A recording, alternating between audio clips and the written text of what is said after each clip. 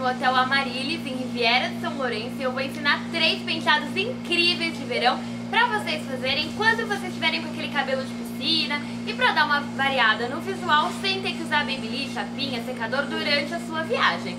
Vem comigo! O primeiro penteado para você ficar linda nesse verão é muito prático. Basta colocar todo o cabelo de um lado só, ao lado que você preferir, e começar fazendo uma trança embutida lateral, lembrando de sempre passar as mechas por baixo uma das outras. Isso cria um efeito 3D lindo e a sua trança ganha muito mais volume e corpo.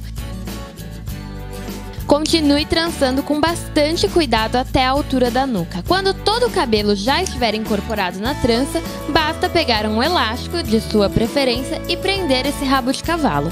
Deixe o restante solto e vai dar um efeito super bonito.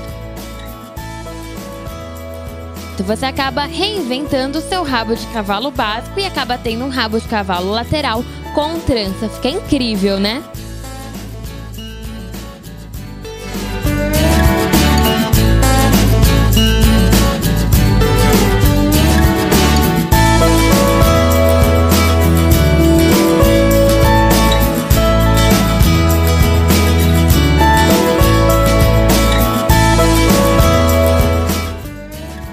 Já o segundo penteado é uma evolução do primeiro, que você só vai precisar de dois grampos para reinventar o primeiro penteado. Basta pegar toda a mecha do rabo de cavalo, torcer em um único sentido. O ideal é que o coque fique um pouquinho abaixo da altura da orelha.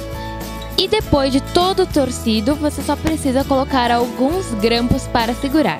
Esse penteado é a opção perfeita se você quer emendar para um almoço ou um jantar casual e ficar com o cabelo incrível a noite inteira.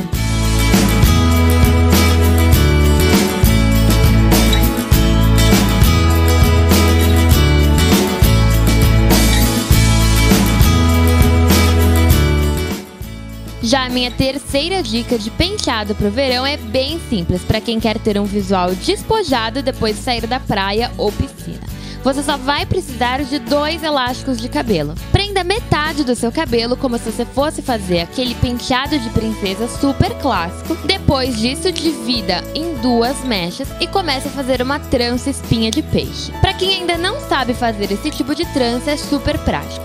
Assim que você dividir o cabelo em duas mechas, pegue uma mecha de cada lado e passe para o outro. Em seguida, faça o mesmo processo.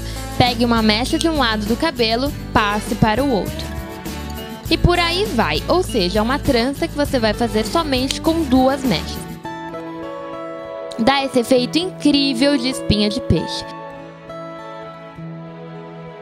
E aqui você tem duas opções: deixar a trança como está, logo após fazer, que dá para ver direitinho o efeito espinha de peixe, ou ainda soltar um pouco a trança para ficar com um visual mais despojado e incrível. E aí depende do seu gosto pessoal, mas de qualquer forma o penteado fica lindo, né?